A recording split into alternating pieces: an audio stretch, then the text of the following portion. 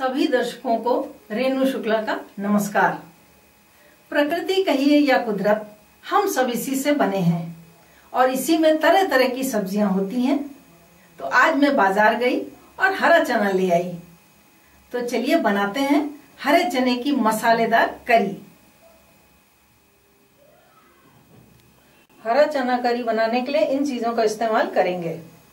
आधा किलो हरा चना लिया है हमने 250 ग्राम हरा चना हम बाद में इसमें पीस लेंगे और 250 ग्राम को सब्ज़ी में डालेंगे। दो बड़े प्याज, एक टमाटर, आठ दस दाने लहसुन और एक टुकड़ा अदरक है जिसका हम मसाला बना लेंगे। तीन आलू हमने काट कर रख लिए हैं।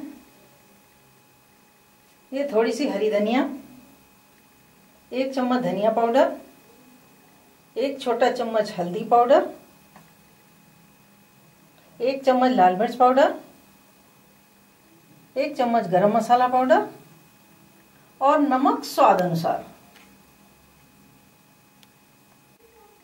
सबसे पहले हम टमाटर, प्याज, लहसुन और अदरक को पीस लेंगे। तो ये देखिए, हमारा मसाला पिस गया। अब हम फिर से इस मिक्सर की मदद लेंगे और 250 ग्राम हरे चने को इसमें पीस लेंगे। लीजिए, पिस गया हमारा 250 ग्राम हरा चना। इसे हमने बहुत महीन नहीं किया है, दरदरा रखा है।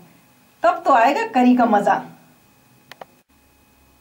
अब बारी आती है आलूओं को फ्राई करने की। कढ़ाई में हमने रिफाइंड डाल लिया है और अब हम आलू फ्राई करेंगे।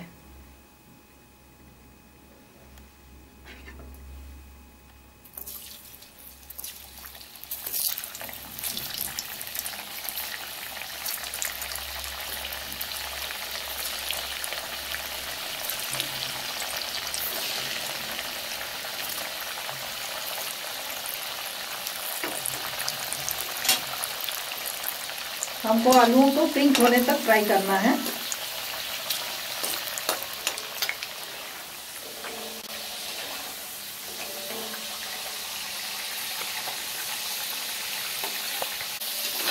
तो लीजिए साहब, हो गए हमारे ये पिंक आलू फ्राई हो गए। अब हम निकाल लेते हैं इनको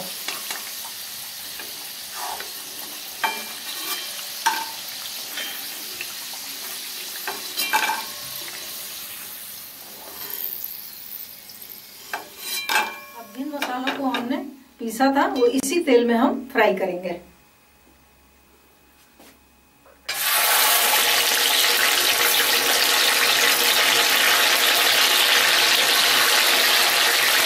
गैस को हम तेज रखेंगे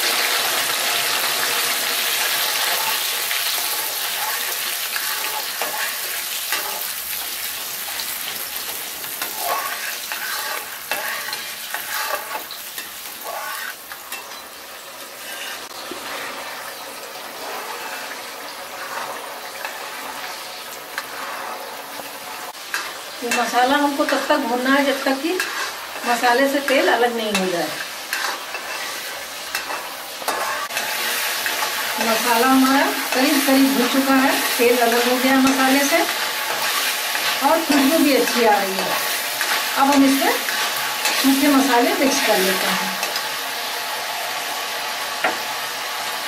ये हल्दी पाउडर,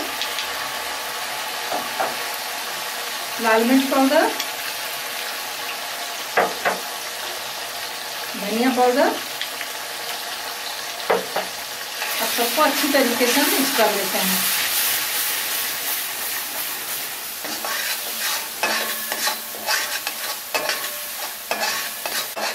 सभी सूखे मसाले हमारे इस मसाले में अच्छी तरीके से मिक्स हो गए। अब हम इसी में ये पिसा हुआ हरा चना मिला देते हैं। और इसको दो से तीन मिनट के लिए हम फ्राई कर लेंगे अच्छी तरीके से।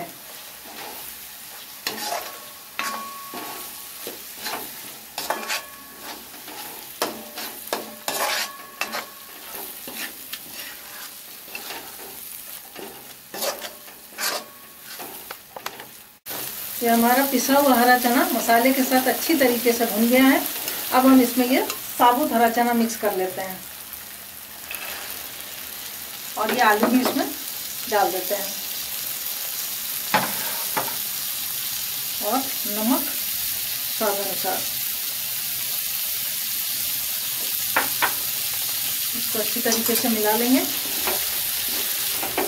और इसको हमको वापस दो से तीन मिनट के लिए और भूनना है।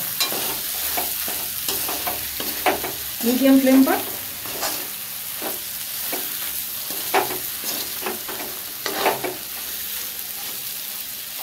देखिए, ये सब चीज़ें एकदम फ़र्स्ट क्लास भुन गई हैं। अब हम इसमें पानी मिक्स करेंगे।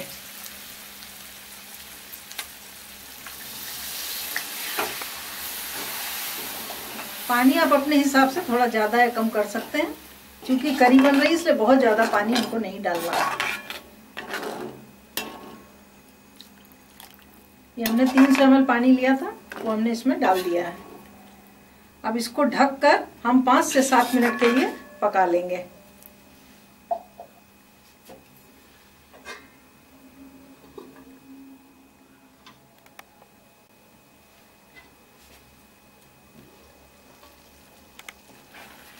तो लीजिए, हो गई तैयार हमारी हरे चने की करी। अब हम इसको एक सर्विंग बोल में निकाल लेते हैं। तो ये रही हरे चने की मसालेदार करी।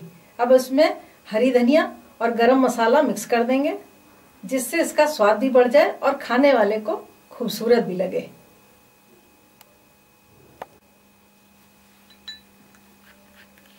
गरम मसाला और ये हरी धनिया। हरी धनिया आप जितनी चाहें उतनी डाल सकते हैं, इसका टेस्ट बहुत अच्छा होता है।